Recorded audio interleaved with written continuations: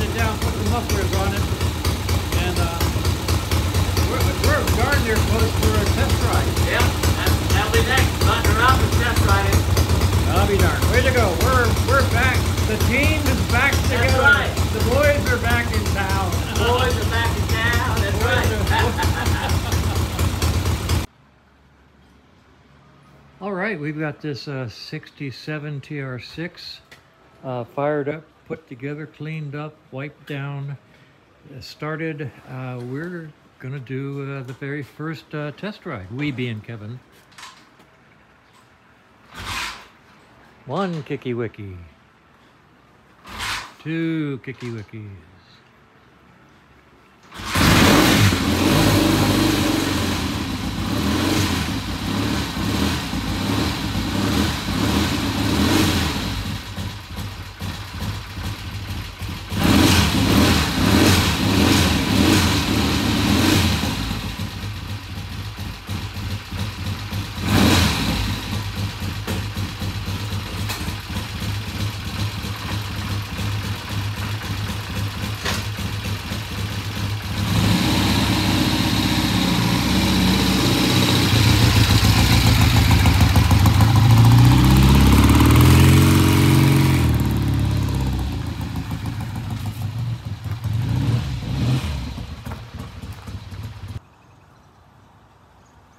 Okay, well, while he's riding a, around a few blocks, I'll tell you what we found this morning.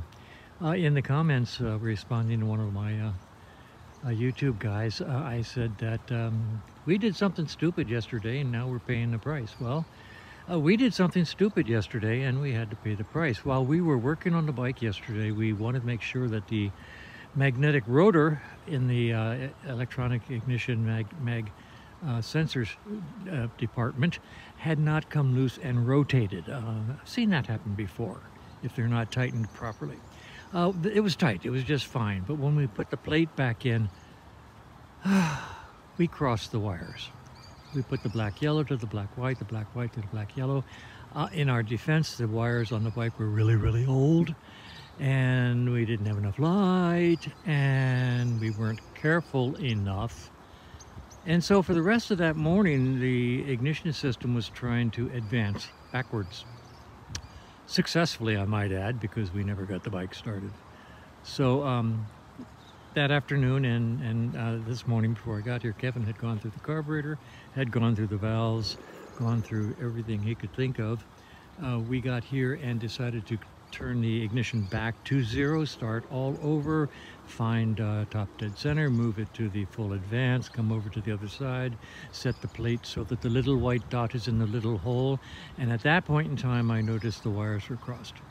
We uncrossed them, put the bike back together, and it started, as you saw, uh, really fast and really nicely.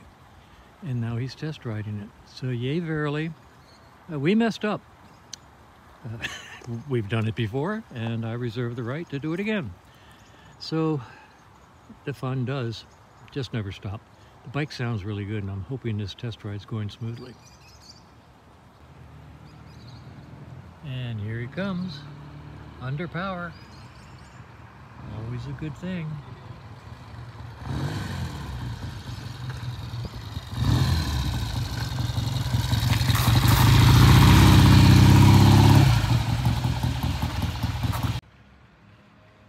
We're back from the test ride, and, and Kevin is smiling. Oh, Uh, break was- down what? what she was great. Uh, she was really great.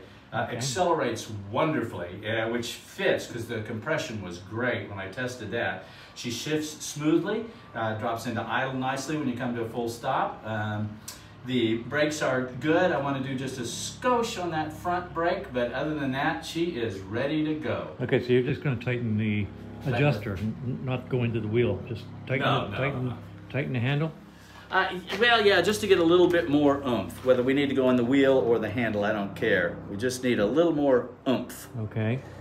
It's not it's not bad. I mean, it's perfectly acceptable. But if we can go a little bit more, then why not? It's safety.